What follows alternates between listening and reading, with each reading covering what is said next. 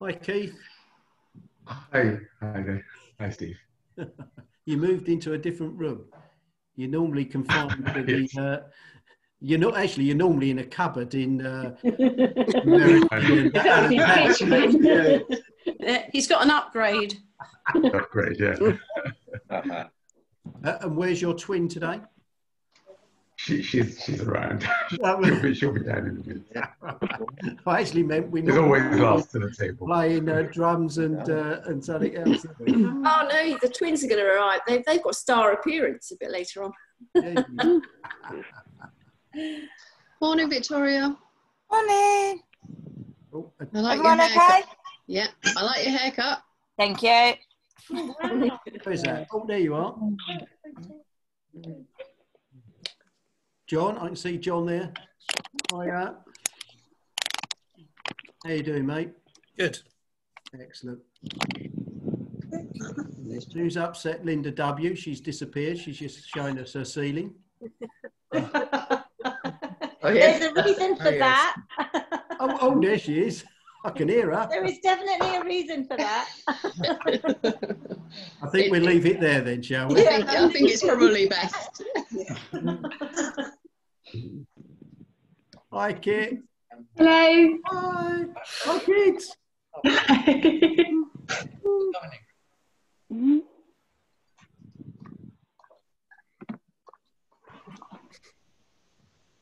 I thought Daryl was. Absolutely.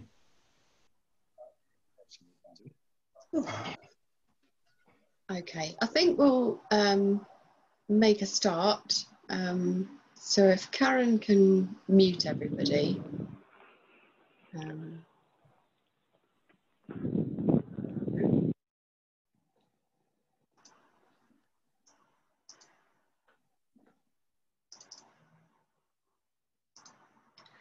So, welcome to our service this morning. It's um, a harvest service, um, which will be a different kind of harvest service to what we've done in the past.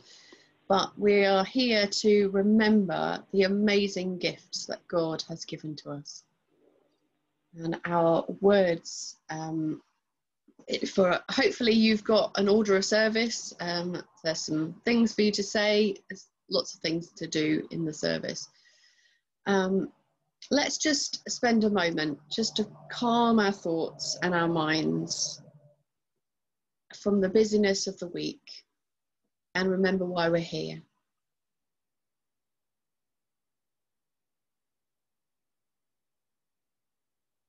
Using the, the call to worship in the service booklet. Lord, our Lord, how majestic is your name in all the earth. You have set your glory in the heavens. Through the praise of children and infants, you have established a stronghold against your enemies to silence the foe and the avenger. When I consider your heavens, the work of your fingers, the moon and the stars which you have set in place, what is mankind that you are mindful of them? Human beings that you care for them. You have made them a little lower than the angels and crowned them with glory and honor. You made them rulers over the works of your hands. You put everything under your feet all flocks and herds and birds in the sky, and all the fish in the sea, all that swims the paths of the sea. Lord our God, how majestic is your name. When I was thinking about this service and thinking about what it means to be part of this creation, um, every generally sometimes I have a song of the month, and the song that is keeps coming up in my mind this month is a song called "So Will I." So what I'd like to do is um, I'd invite you to close your eyes and listen to these words. God of creation there at the start, before the beginning of time, with no point of reference, you spoke to the dark and fleshed out the wonder of light. And as you speak, a hundred billion galaxies are born. In the vapor of your breath, the planets form. If the stars were made to worship, so will I. I can see your heart in everything you've made, every burning star, a signal fire of grace. If creation sings your praises, so will I. God of your promise, you don't speak in vain, no sim- syllable empty or void, for once you have spoken, all nature and silence follow the sound of your voice. And as you speak, a hundred billion creatures catch their breath, evolving in pursuit of what you said. If it all reveals your nature, so will I. I can see your heart in everything you say, every painted sky a canvas of your grace. If creation still obeys you, so will I. If the stars were made to worship, so will I. If the mountains bow in reverence, so will I. If the oceans roar your greatness, so will I. For everything exists to lift you high, so will I. If the wind goes where you sent it, so will I. If the rocks cry out in silence, so will I. If the sum of all our praises still falls shy, then we'll sing again a hundred billion times. God of salvation, you chased down my heart through all my failure and pride. On a hill you created, the light of the world, abandoned in darkness to die. And as you speak, a hundred billion failures disappear. Where you lo- lost your life, so I could find it here. If you left the grave behind you, so will I. I can see your heart in everything you've done, every part designed in a work of art called love. If you gladly choose surrender, so will I. I can see your heart eight billion different ways, every precious one a child you died to save.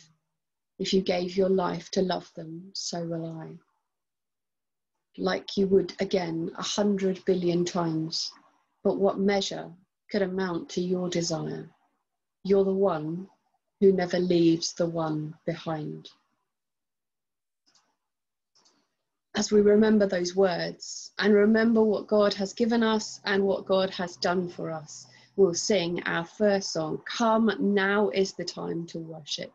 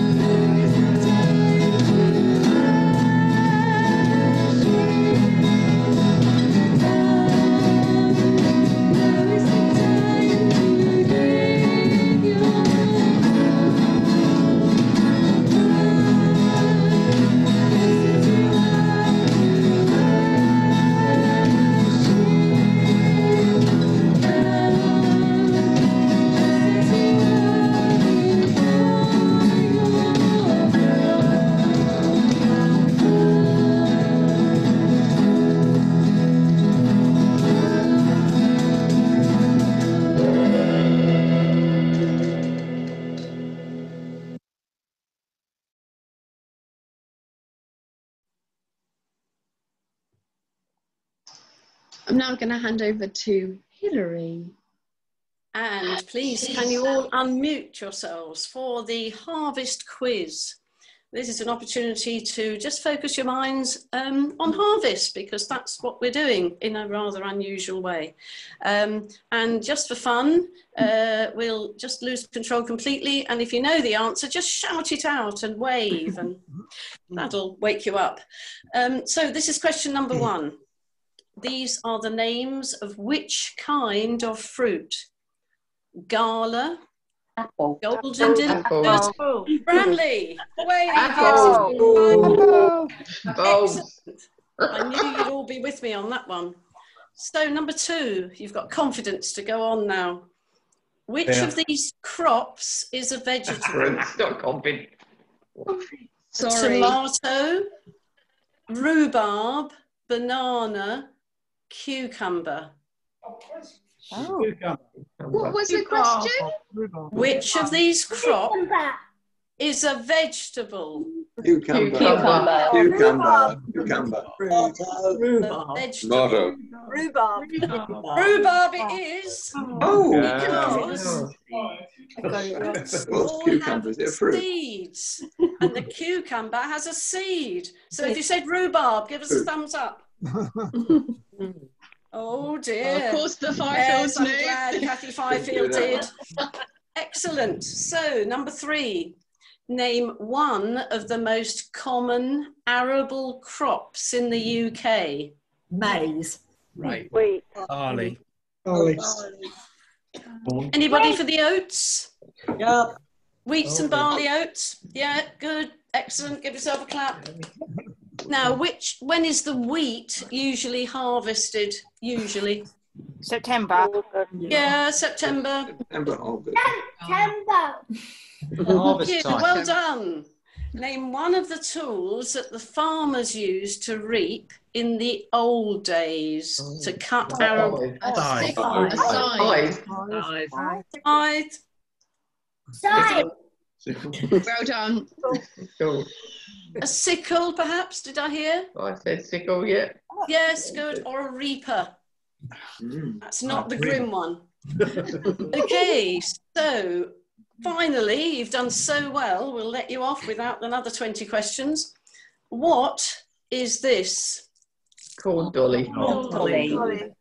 Corn dolly, and anybody quickly can tell us what it was used for, or is still perhaps? Top of the haystacks. Put on top of the haystack. That's not one of the answers I had, but I'm sure that would be ideal. Wheat. Good luck.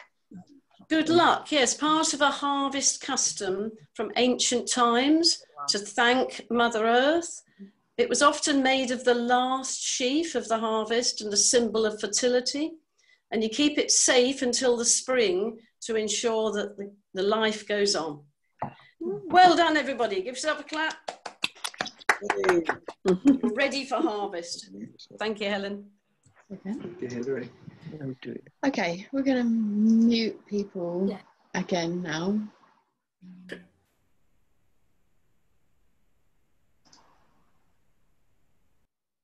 Okay, so we thought a little bit about um, harvest and the things that we uh, associate with harvest. And now we're going to spend a time of uh, thanking God for those things. And all you need is your hand, okay? you have five thing, fingers, well, four fingers and a thumb. Okay, let me see your your hands, just so I know you're you're actually listening. Um, okay, so what I want you to do is think of five things that you're thankful for. Okay, one for each of those digits that you've got. Um, yeah.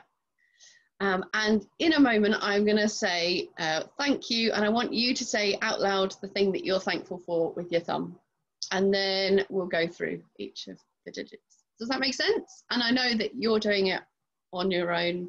Maybe we should have unmuted everybody again, but that's okay. Didn't think about that. Okay. So, God, we thank you for fruits and vegetables. God, we thank you for water. God, we thank you for sunshine. God, we thank you for farmers. And God, we thank you for freshly mown grass. Thank you, God, for the wonderful world that you have made. Thank you for all the people of the world. Thank you for all animals and living creatures. Thank you for all the plants and the things that we can eat. Help us, Lord, to look after your world and everything in it. Help us to share the things that we have and to think about others who don't have as much as we do. And bless us and our families with your love today and always. Amen. If we're honest, we don't always treat the world or the people in it with the respect that it deserves. And so sometimes we need to say sorry for those times. So let's think, um, spend a moment of saying sorry to God. Lord God, forgive us when we are selfish and greedy, when we are wasteful of all the things that you have given us. Sometimes we forget to say thank you. Father, forgive us. Lord God, we often choose to ignore those who are struggling and lack basic provisions. Sometimes we ignore the needs of others. Father, forgive us. Lord God, in our weaknesses, we choose to live in a way that pleases us and not you. Sometimes we forget to live your way. Father, forgive us as we say we are sorry and ask you that you would forgive us and help us to live for you in Jesus' name. Amen.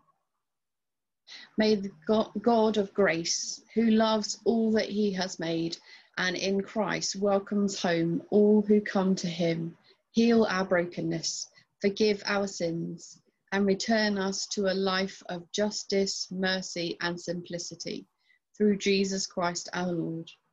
Amen. I'm now going to hand over to Andrew, who is going to bring our reading. Reading is from Matthew chapter 20. For the kingdom of heaven is like a landowner who went out early in the morning to hire men to work in his vineyard. He agreed to pay them a, a denarius for the day and sent them into his vineyard. About the third hour, he went out and saw others standing in the marketplace doing nothing. He told them, You also go and work in my vineyard, and I will pay you whatever is right. So they went. He went out again about the sixth hour and the ninth hour and did the same thing. About the eleventh hour, he went out and found still others standing around. He asked them, Why have you been standing here all day long, doing nothing? Because no one has hired us, they answered. He said to them, You also go and work in my vineyard. When evening came, the owner of the vineyard said to his foreman, Call the workers and pay them their wages, beginning with the last ones hired and going on to the first. The workers who were hired about the eleventh hour came and each received a denarius.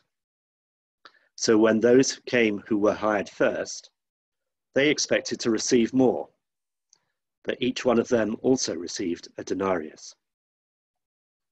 When they received it, they began to grumble against the landowner. These men who were hired last worked only one hour, they said, and you have made them equal to us, who have borne the burden of the work and the heat of the day. But he answered one of them, Friend, I'm not being unfair to you. Didn't you agree to work for a, denarius?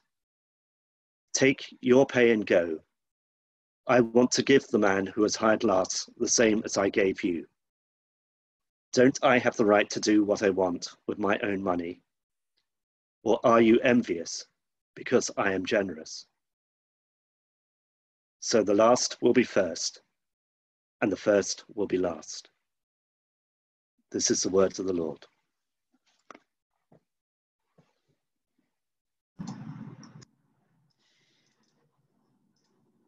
I want you to imagine that you're at a birthday party and they're handing out the slices of cake. The host presents you with two plates that you can choose from. One has a skinny piece and one has an extra large piece with extra icing. Which one would you choose? Now, if we're honest with ourselves, unless we're really on it with the diet, we'd possibly choose the bigger piece. My favourite cake is the Colin the Caterpillar cake from Marks and Spencer's, and almost everybody wants one particular piece. That is the face because it has the most amount of chocolate on it. One day, Jane and Will came in from school and wanted a snack. Their mum had baked a pie earlier in the week, and there was just enough left for each of them to have a slice. Let's have a piece of pie, suggested Will. I'll get the pie while you get the glass of milk. When Will sliced the piece of pie, uh, one slice was much larger than the other one. Jane poured each of them a glass of milk and sat down at the table. Will brought the pie and placed the small uh, slice in front of Jane and kept the large slice for himself. Look what you've done, cried Jane. You gave me the small slice of pie and kept the big slice for yourself. Well, what would you have done? Will asked. Well, if I were serving the pie, said Jane, I would have given you the large slice and kept the smaller slice for myself. Well, that's what are you complaining about? That's exactly what I've done. Will and Jane both laughed and began eating their pie. Well, there are lots of times in our lives when things might not seem fair. And believe it or not, that's actually a good thing for us sometimes. Sometimes we might feel that we don't deserve the things that happen to us. Well, in the gospel lesson today, there are some people who felt very upset over what something that had happened. Jesus told this parable, a special story with a meaning, about a farmer who hired workers for his vineyard. He agreed, agreed to pay the first person a, high, a certain amount, let's say £50 for the work of the day. A little while later, he found another person who wanted a job and hired him for the same amount of money, and then found another and another worker and let them start labouring as well. He even found someone who jumped into the job in the last hour of the day. The owner gathered everyone together at the end of the day, and each worker received their £50. The first workers, understandably, were upset because they didn't get extra pay for working longer. But the owner said that he could do what he wanted with his money, and everyone would get the same pay. In today's world, some, some, we sometimes worry a lot about things being fair. We think we earn or deserve the things we get. And we can get upset if we think we've been cheated or mistreated. Maybe arguing about who gets the last biscuit in the tin or complaining that our brother's ice cream is bigger than ours are not actually the things that we need to get upset about. There are bigger injustices going on in the world that we should take note of. We are incredibly blessed in this country to be able to walk into a supermarket and buy what we want. We may not have much money, as much money as our neighbours, but at least we have a choice, a choice that we so often take for granted. How would you react if you walked into a supermarket and there was nothing on the shelves? We had a glimpse of that at the beginning of lockdown when people were bulk buying toilet rolls and eggs and sugar and flour. That was the experience that I had when I lived in Zimbabwe. There were times where we didn't know where our next meal was coming from. God knew what we needed and when we needed it. I've never met more generous people than those who share their last cup of flour or the little food that they have when someone arrives on the doorstep. And they don't they, they do it without grumbling or moaning or often being asked. Now the evangelist J. John tells this story of a man at an airport who had some time before his flight, so he buys himself a coffee and a bag of mini donuts.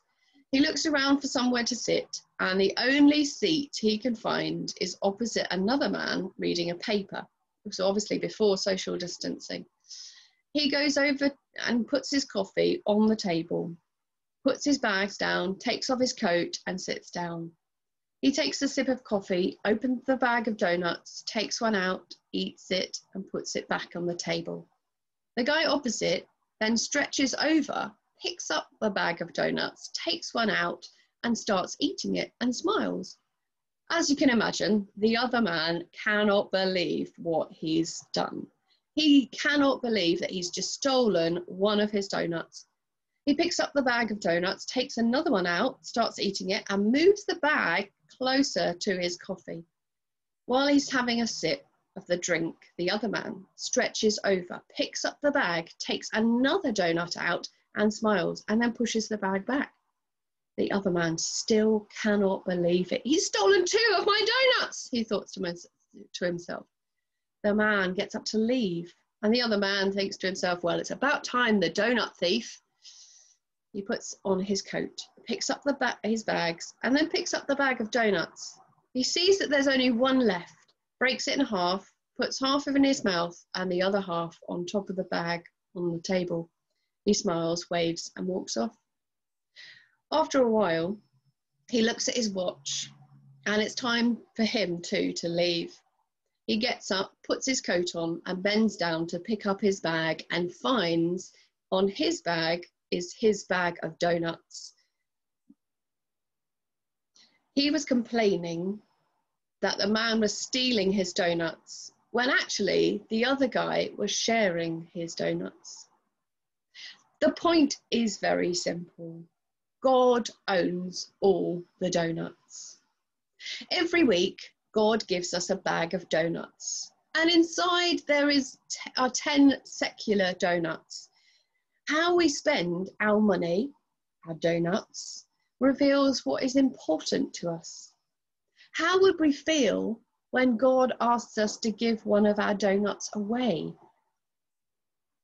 When we give one of our donuts away for something that is sacred, something that is God filled, something that God asked us to do, we always find that we have there's always enough for what we need. God is good and generous, and He has given us, most of us, more than what we need. The question is, what will we do with what God has given to us? Will we share it with those who don't have as much, or will we be greedy and keep it to ourselves? We all have a choice to make with the things that we have.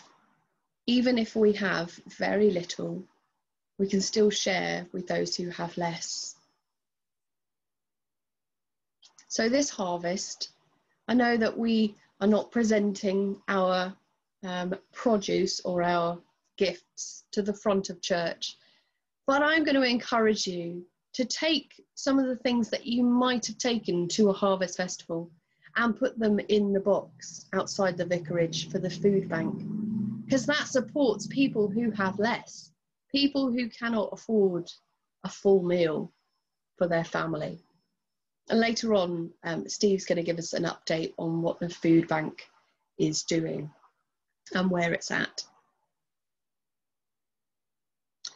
Let's just uh, spend a moment of quiet thinking about what we can do with our donuts. And then I'm going to hand over to Rachel for our prayers.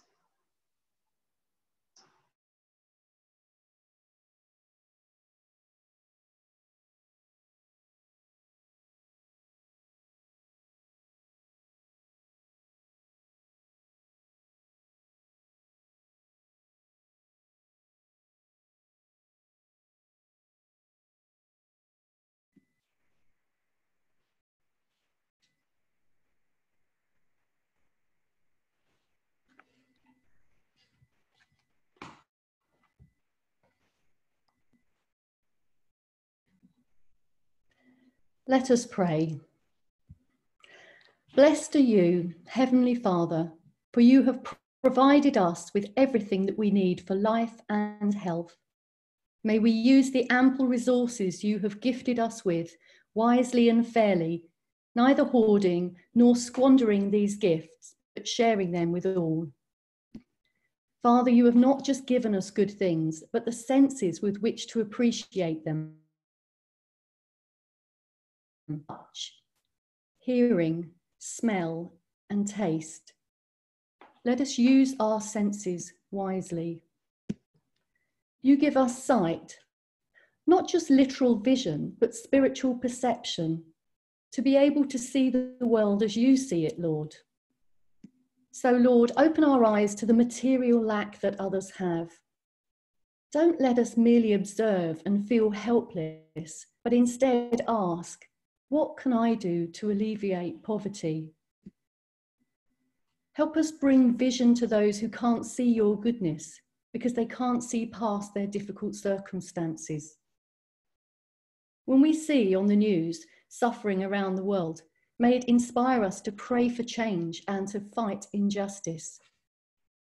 Shake us out of our comfort zone and drive us into compassionate action so that others see Jesus Christ. Lord, hear us.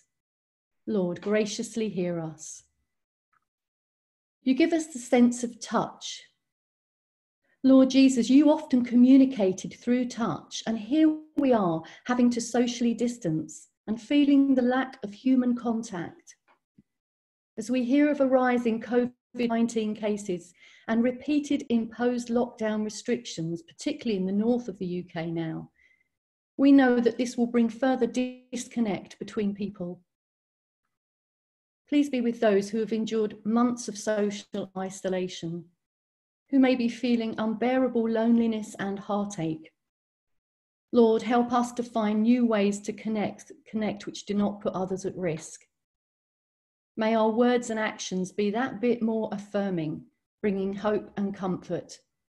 And may your spirit touch those suffering and bring healing. Lord, hear us. Lord, graciously hear us. You have given us ears to hear with. And Lord, we appreciate our auditory hearing, but give us the ability to hear the cries of those who make no noise. Help us to hear what your spirit is wanting to say to us.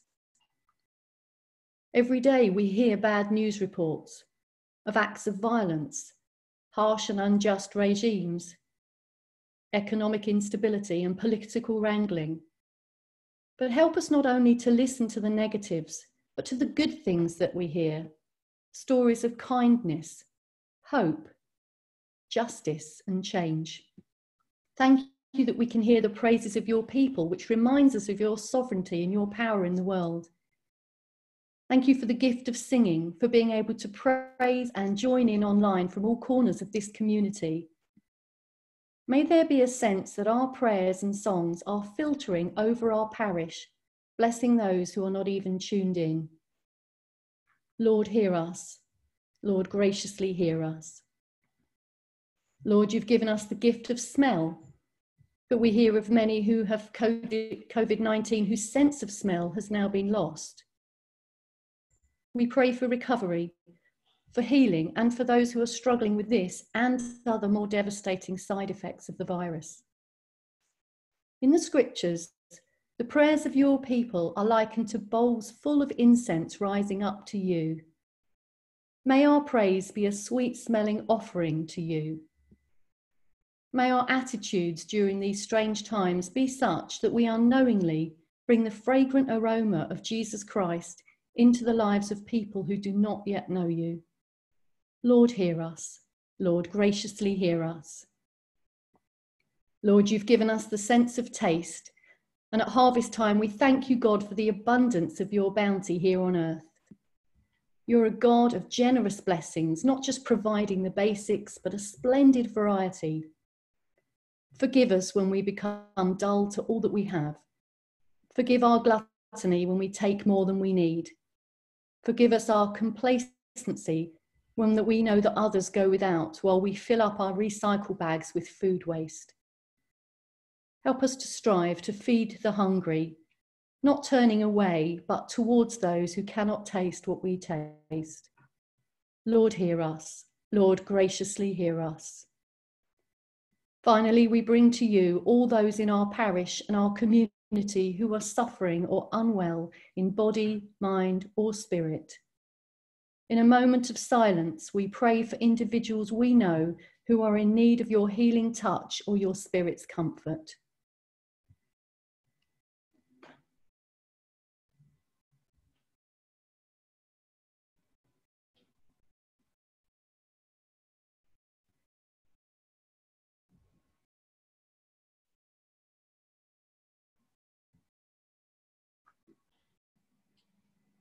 And so we offer you all our prayers, those spoken aloud and those we expressed silently.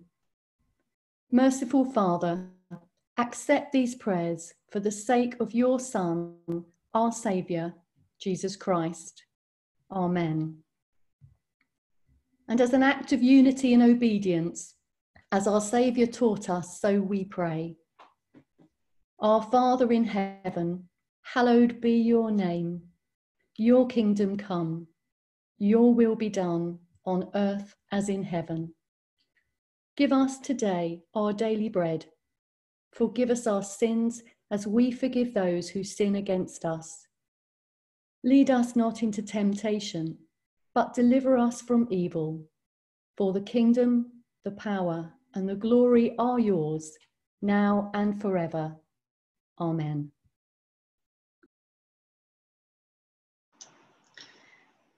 Thank you, Rachel. Now I'm going to sing our final song, which um, is a, a, very popular harvest song, but also um, it, it, does talk about ploughing and uh, scattering the seed. So it's we're remembering that the harvest is planned years, uh, months in advance. Um, yeah, I don't know if that helps. We plough the field and scatter.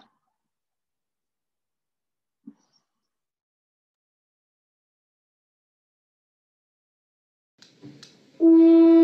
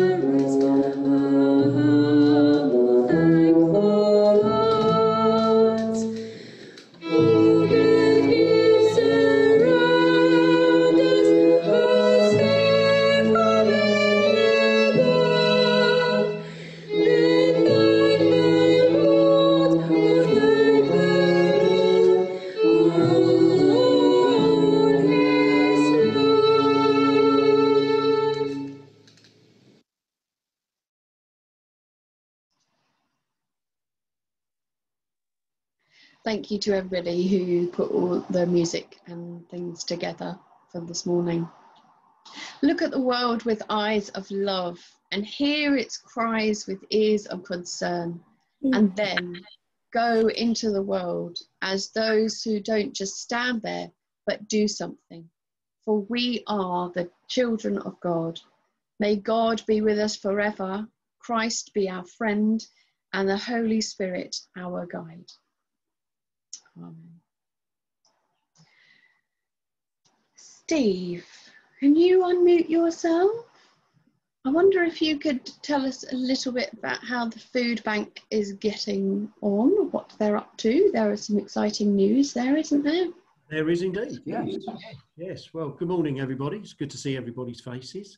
Um, yes, things are uh, happening with the food bank. Um, first of all, if you remember back to when Amanda joined us, Amanda Stone joined us for uh, uh, one of our services, probably a month or so ago now. Um, she was saying that the uh, warehouse where they are now, next to the Civic Centre, um, was was being taken away from them probably in February by the council because the council are going to be turning it, turning it into a medical centre, which is good in itself. But the problem being is that uh, it was going to leave the food bank homeless, uh, which is not what we want, of course. So anyway, they have found a place. they've found a warehouse. Uh, it's near Bromley Court Hotel. I'm sure most of you know where that is, but uh, North Bromley-ish way somewhere. Um, and uh, they've got a five-year lease on it, and it's costing them thirty thousand pounds a year, which actually sounds really ridiculously expensive, but actually is quite cheap because they thought they might have to pay at least double, maybe even triple that per year. So they are quite pleased. Of course, they've got to find the money for it, but uh, they are trusting in God for that. Um, and this is going to be happening over the next uh, few weeks as they trans every transfer things over from the uh, present warehouse over to the new one. So that's really exciting news. Um, also, what is happening, um, and I, I, will use this very advisedly, as lockdown is slowly starting to open up, um, more of the centres that they had opened uh, in the past is becoming to become online. So they uh, people are going to be able to go to their local food bank centre to be able to collect food. So instead of delivery drivers going out and perhaps delivering a week's worth of food, they will be able to go along and, uh, as they were used to doing folk, picking up uh, two or three days worth of food. Now, of course, that's not always possible because some people are still sh shielding, uh, and obviously those that are frail uh, might not be able to get there. So they are trying to devise a new way of being able to do delivery. Um, uh, and as you know, uh, Linda and I are on, and uh, uh, uh, Alan Mitchell as well is also on that delivery rota. Um, so that um, although we may not be called upon to deliver as much as we did before, there will still be some deliveries taking place. Now, of course, the biggie is is that things are starting to shut down again, as, as Helen's already said, in the in the north and northeast and northwest, uh, as far as Birmingham, Wolverhampton, and all round there. And to be quite frank, I don't know whether you saw the uh, the pictures of those that uh, are were enjoying themselves up the West End and in Covent Garden on Friday night. You can't but think that this is rapidly coming to, to, to our neck of the woods and, uh, and it's going to happen, I, I, I, fear. So we might um, obviously start to get tighter restrictions, which again will mean that uh, the food bank is still going to have to adapt once more.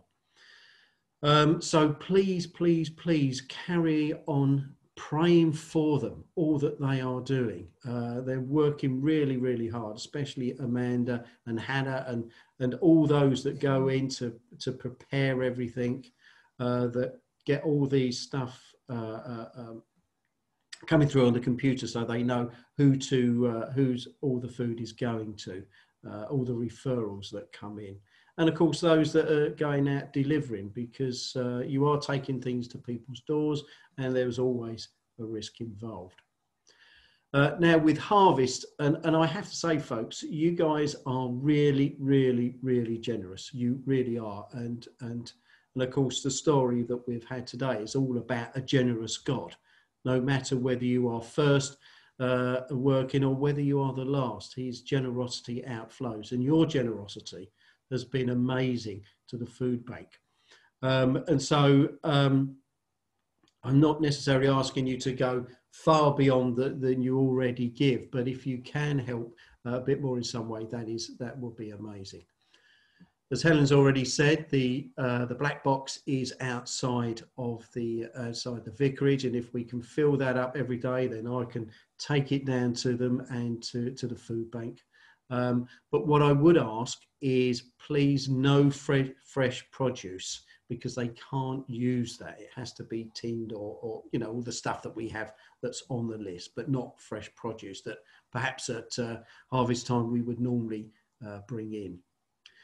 What also I would add, if there's folk that would like to give and got stuff to give, but actually can't physically get here themselves, fully understandable, give me a call and I'll come and pick it up from you, all right? Um, but please don't make it on a Friday because I'm probably not around. All right. So if you can't get here, but you you want to give and you can give in some way, then um, uh, please do give me a call. All right. And just to add, if it's and it is easier for some folk to to be able to give to give cash. To be quite honest, um, that would help not just in uh, uh, the food bank buying stuff that they're perhaps short of that's not coming in, but also help with able to pay for the, uh, uh, the, the, the, new warehouse. If you go online, and I think that it's in our news sheet, but you can go online to give financially as well. So, uh, and um, of course, if, if you are working, uh, you can um, give the tax bit on there. So please don't forget to do that. Um, hope that gives you a bit, bit of an idea what's going on, but for uh, foremost, please continue to pray for the food bank, the work that they do, and importantly, actually for those that, uh, that receive as well. Uh, when I go and deliver stuff on the doorsteps, uh, people are so grateful um, and, uh, and so happy. Um, the other day, I, I delivered and there was a little girl running around and, and her eyes lit up and she just said, oh, great biscuits. We take that for granted. We can just go to the cupboard and, and grab, a, uh, grab a biscuit, a fig roll or a chocky bicky or whatever it may be. For some, that's not so easy. So um, thank you for your generosity uh, and all that you do. Cheers. Hello. Just a couple more um, notices. Um, they're all on the um, the notice sheet um, on the Good News email. Hopefully, you've all received that. Wednesday at half past eleven, we have uh, a midweek reflection and prayer, and then the church will be open from three till um, seven during that day for private prayer, um, and then next Sunday, a said communion service in the church Sorry, you carry on. I've got something to add. Okay. Um, a said communion service at nine and then Zoom at 10. Um, there are lots of things for the diary um, for future um, thingies. For, that doesn't make sense. Um, for, for future dates for the diary, um, uh, bits and pieces is on the 30th of September.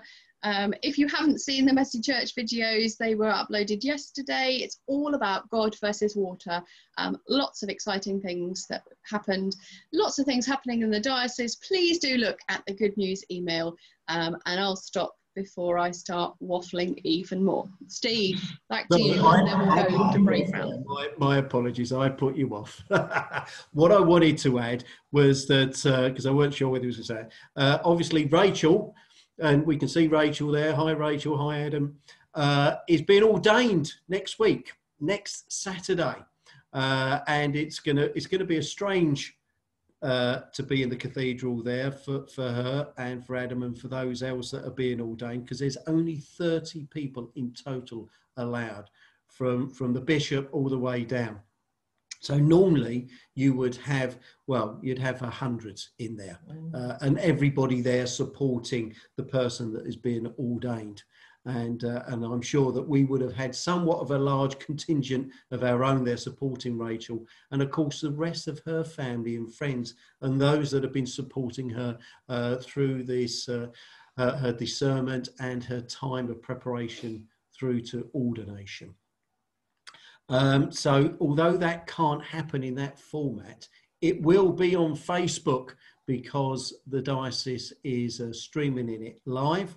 Um, quite all the details they haven't told us all yet, but uh, I'm sure they will do in time. But the main thing is is that uh, it'll be really good that if you are available from 11 o'clock uh, next Saturday, if you go onto Facebook via your computer or your, your phone, you don't have, I'm told, you don't have to have a Facebook page or anything. You can just go onto Facebook and then look up for the, uh, it's the Church of England uh, um, Diocese of Rochester. So C O of E Diocese of Rochester, and then you will find their page then you should be able to be able to watch the service. I think you, if you go on your computer, you can do it via their website. Okay, I think I've got that right. Search around, uh, but you should be able to get there. But it'd be great if we can just watch it there to support Rachel and to support uh, everybody else that is being ordained as well. Uh, because normally, as I say, there would be hundreds of people in the cathedral. Uh, so it'd be really good to be able to do that. Saturday, 11 o'clock. I'm sure you can get on the page just a bit earlier. Thank you. Thank you ever so much for joining us this morning. Um, Karen is now going to send us into our breakout rooms. You will need to unmute yourself, um, please.